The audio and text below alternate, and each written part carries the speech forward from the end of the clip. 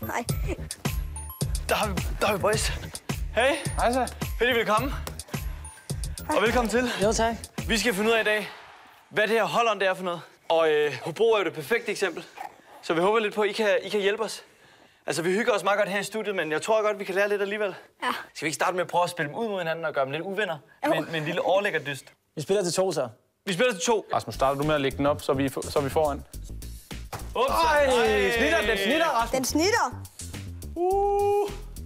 Rasmus. Prøv at tjekke den her. Ej.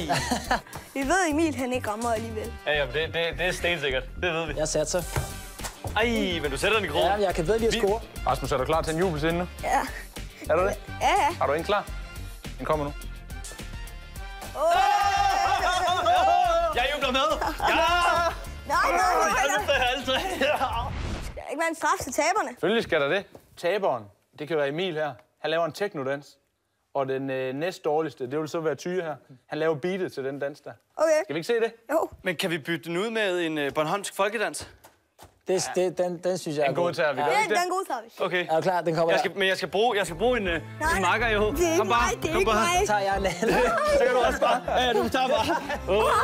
Dum, dum, dum, dum, dum.